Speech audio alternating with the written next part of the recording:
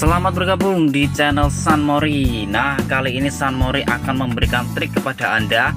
Kali ini masalah AC mobil. Nah, buat Anda yang ngalamin AC mobilnya tidak dingin-dingin, itu kira-kira kenapa? Cek bagian ini ya, mungkin AC mobil Anda biar lebih dingin kembali, normal kembali. Sebelum masuk ke bengkel, bisa Anda cek terlebih dahulu. Sebelum lanjut video kali ini, buat Anda yang belum subscribe, jangan lupa ya subscribe terlebih dahulu di channel San Mori Sunday Morning. Jangan lupa juga like, comment, share videonya hanya di channel San Mori.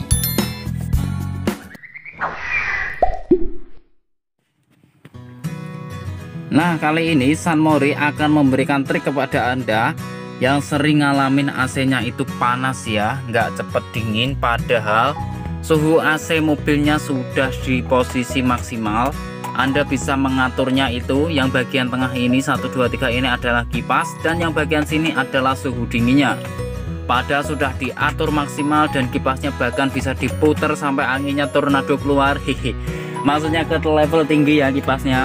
Tetapi AC nya itu masih belum dingin secepatnya ya.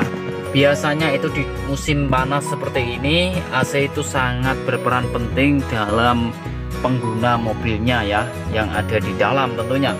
Nah kali ini San More akan memberikan trik kepada Anda biar AC nya itu tetap dingin ya sebelum ke bengkel bisa Anda cek bagian-bagian ini.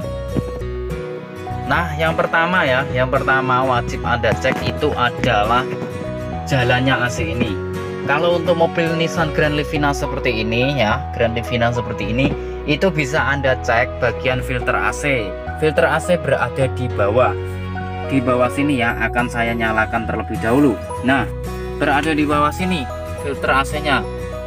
Filter AC berada di bawah ini dan terhalang oleh box ini ya. Nah ini pipanya biar AC nya lebih dingin. Ini bisa dibersihkan ya bisa dibersihkan supaya filter AC nya itu tidak tersumbat oleh kotoran-kotoran yang berada di dalamnya Tak hanya itu ya, Anda juga bisa membersihkannya sisi kanan juga ya. Kalau sisi kanan itu berada di atas seperti ini dan juga di bagian tengah. Kalau kipas bagian tengah ini bisa Anda buka ya. Nah, bisa Anda buka lubang-lubang AC ini dengan cara melepas skrup yang ada di bawah sini. Nah, di sini ada skrup satu ini, Anda harus mencopotnya ini kemudian Anda menarik ya menarik bagian cover depan ini dengan cara dipegang bagian bawah dan ditarik kuat-kuat seperti itu ya. Itu bisa terlepas dan Anda bisa mengecek saluran AC-nya pipa-pipa AC-nya maksudnya jalannya angin AC di sini apakah ada yang mengganggu. Nah coba Anda cek ya. Nah yang kedua Anda bisa mengecek ini bagian ini nih. Bagian ini apabila Anda geser ke kiri maka udara dari luar itu akan masuk ke dalam sehingga AC Anda terasa panas ya tidak cepat dingin karena udaranya bercampur dari udara luar. Anda harus menggesernya ke kanan sini supaya AC nya tetap dingin dan udara dari luar tidak masuk ya tetap udara di dalam sini. Usahakan juga menutup kaca kanan dan kiri dan juga kaca belakang seluruh kaca mobilnya harus keadaan tertutup. Yang terakhir apabila Anda ingin berjalan Anda harus menyalakan wiper. Wiper Anda harus nyalakan sama semprotan airnya itu harus Anda nyalakan ya supaya supaya kaca yang terkena paparan sinar matahari ini bisa langsung dingin.